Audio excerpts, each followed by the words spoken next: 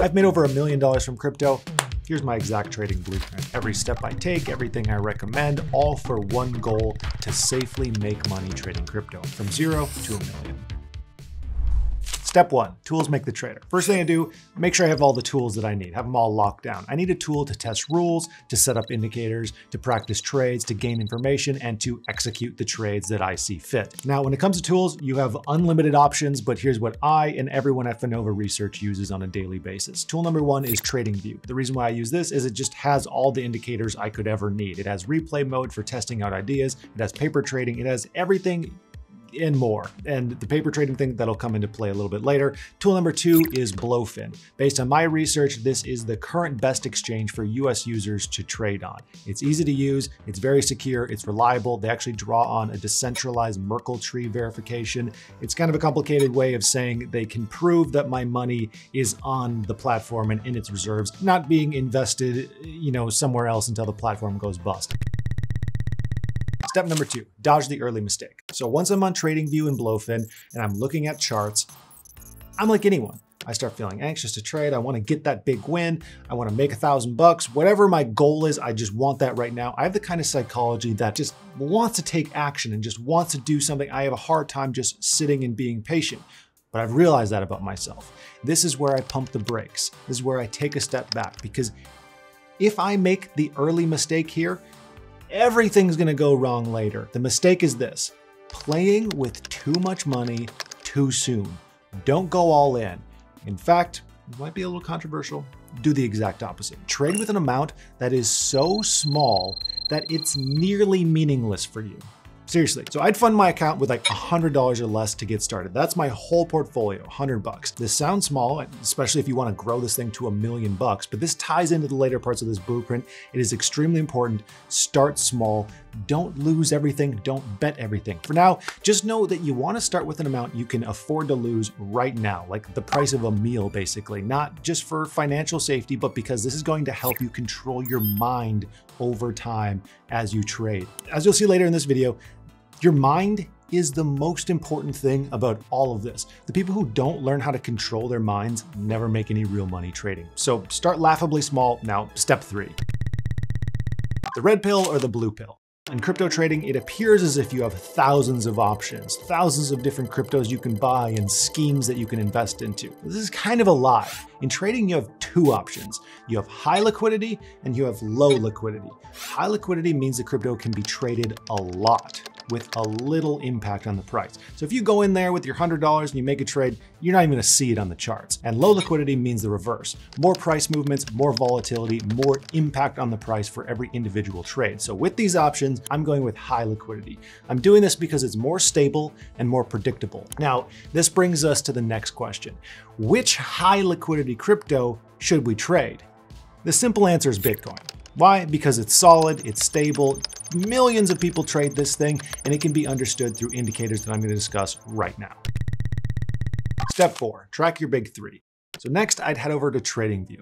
I'm gonna look at Bitcoin on the one hour chart and set up three indicators, the Bollinger Band, 500 EMA, and the Money Flow Index. I'll give you a better look exactly how those work later in this video, but they effectively do this. They help me see when the market is overbought or oversold and allow me to see when reliable trades might be occurring. They're indicating us when a reliable trade might be occurring. So for example, when the price moves above the bands, it can be assigned to enter a short. When it moves below, that could be assigned to enter a long. A short is betting that the price will go down, a long is betting that the price will go up. The goal of all of this is to execute trades that have the highest possible likelihood of success with the lowest possible risk. Indicators like this, as well as any other steps in this blueprint, help make this a reality. So those three indicators, Bollinger Band, 500 EMA, and the Money Flow Index are the most recommended indicators by my head of research at Finova, Kyle. Kyle is a genius at trading, and he used strategies like this to turn a portfolio of $26 into $2.8 million only through trading crypto. Seriously. The, the, the, percent return, I can't even do the math on that. It's insane. He shares his trades in real time. He explains his thought process and how to copy his results. He's helped members get wins like this, this, and this. Here's a recent result that stood out to me. It's insane. However, it only works if you establish your plan and you stick to it. And you can develop this plan yourself You can do this for free. You can sign up for some site that gives you additional strategies and make things quicker, but there are unlimited ways to make money doing this. So let's flesh out the rest of your plan. Step five, hit the 100. Let me ask you a question. Before a boxer takes a fight, how many times do you think he's gonna practice? Probably hundreds of times. Before a pianist performs in front of a crowd, how many times do you think she'll practice? Again, probably hundreds of times. Yet most traders they just start trading real money with zero experience. How well do you think that's going to work? Probably not well. Yeah, it's kind of dumb. So in this blueprint, I'm a brand new trader. I have my indicators in place. Next step is using paper trades to test how effective my strategies and my indicators are. Paper trading is where I place trades and test rules without risking any real money. This allows me to see if I understand what I'm doing, see if what I'm doing is working, and see mathematically if what I'm doing is actually profitable. All of this can be done through TradingView, which allows me to simulate the market and test my indicators. At this point, I wanna try and pay attention to every test trade and learn at least one thing from every trade, whether it's a win or a loss. And now I'm gonna do a big, big ask from you. You want to paper trade at least 100 times before using any real money because like the boxer, like the pianist, you want to be prepared when you show up for the real thing. So my ask for you is to do at least 100 paper trades before you risk any real money. Then we can move on to the next step. Step six, lose the right way. If you follow the blueprint so far, you'll notice one important thing. Losses can easily wipe out any wins that you've got. Even if you've been on a multiple win streak, one bad idea, boom, you can lose everything. But why does this happen? Because losses are guaranteed in trading.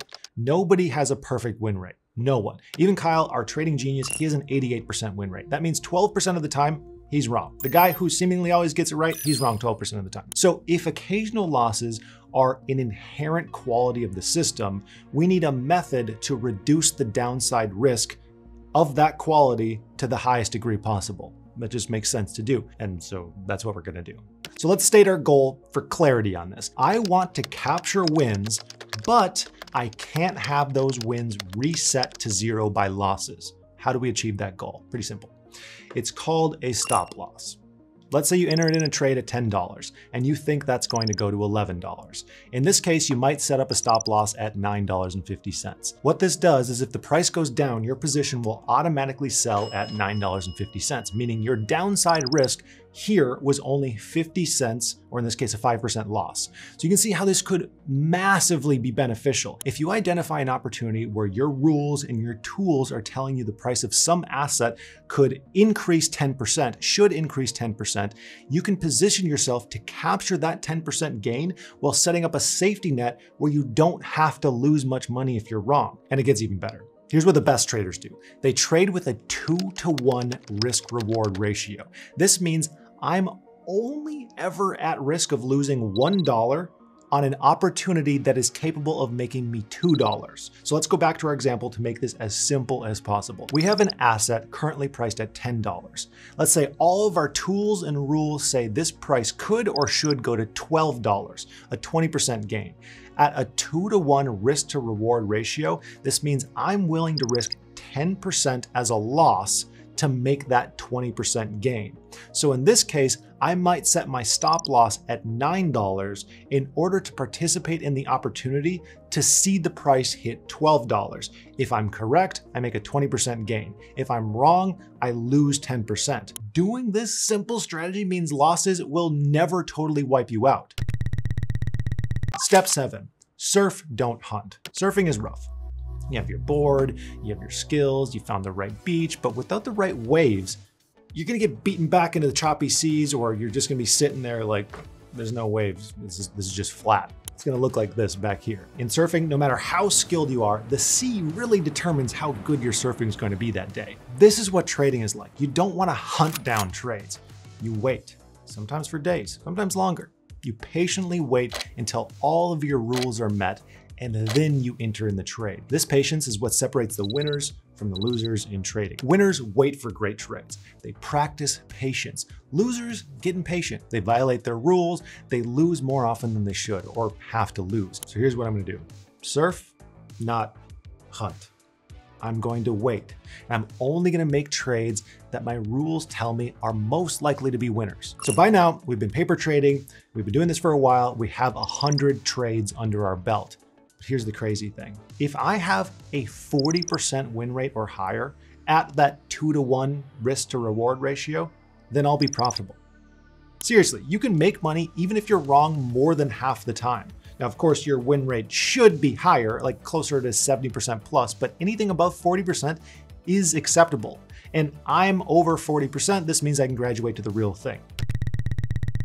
Step eight, beat the biggest obstacle. There's something that I realized recently that it kind of blew my mind. In any activity where the emotional element has a big influence on your ability to succeed in that thing, managing the emotional element becomes priority number one in that activity. If you have a fighter who can't manage his fear, he's gonna freeze up when he's in the ring. If you have a poker player who can't manage their frustration, they're gonna make irrational bets. They're gonna make bad hands. Unmanaged anxiety and greed, this is going to ruin a profitable trader. Because that is so crucial, that should be priority number one to manage the emotions. The second that I go from paper trading to real trading, I'm gonna notice something. Real trading is scary. I'm not playing with paper anymore. I'm trading real money that I actually care about, my money. This feeling is going to start influencing my decisions. It's going to change how I approach it. The bigger the amount of money that's at stake, the bigger the fear, the bigger the fear, the more influence on my decisions.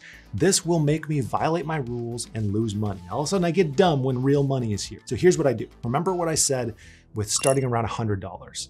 Well, a good reason for that is it means we're trading with a small amount each time.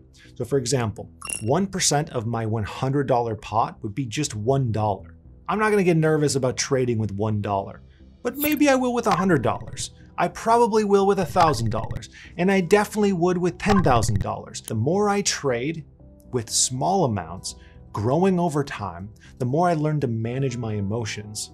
I've been there before feeling these small amounts of fear and greed over time and then having wins, feeling that fear and then overcoming it, feeling that greed and then overcoming it, that builds up confidence and skills and allows me to control myself so I can stick to my rules before I ever scale up. That way, when I do scale up, the rules and the confidence is just solidified. It's there, it's ready. Then we can move on to step number nine crush everyone with fundamentals. As I'm trading small, I'm learning to manage my emotions, I'm collecting wins.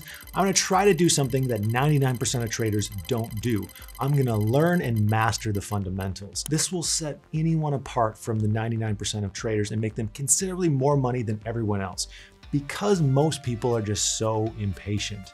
They don't want to do the work. If they have a win, they think they're a genius it's always the obvious stuff. They just don't care about practicing in fundamentals, so eventually they fail or their track record slides. Instead, I'm going to try to continually test and improve my rules, to always set safe stop losses and practice risk management. That is so important. Practice your risk management. I'm gonna wait for rule approved trades only, and I'm only gonna trade amounts that I know I can emotionally handle. The last one, it's actually pretty easy because you'll feel whether you can handle it or not. You just have to be honest with yourself.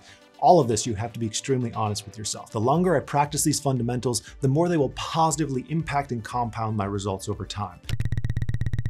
Step 10, practice makes perfect. This one's simple. I take everything I've done so far and do it every day for at least an hour. Trading is a skill that you need to practice, either through trading in real life, paper trading, learning new tools and strategies, or a mix of all of these all at once. If you want it, you have to do it every day for at least an hour, so I'll do that. Step 11, do the most boring, but the most important part. From the beginning of this blueprint until now, I've been using tools, indicators, paper trades, real trades, all to gather information. What strategies work? What time do they work? How do I feel when I do them? What influences a positive and negative outcome? All this information helps me learn the most important part of trading, knowing when, why, and how I'm most likely to be profitable on the majority of my trades. If, for example, my data tells me that I'm more likely to be profitable between 10 a.m. and 3 p.m. on Thursdays, then that's when I'm gonna trade. I'll focus on that time window. If my data tells me that I'm far more likely to make an unprofitable trade on days when I had bad sleep, guess what? I'm not trading on days when I have bad sleep anymore.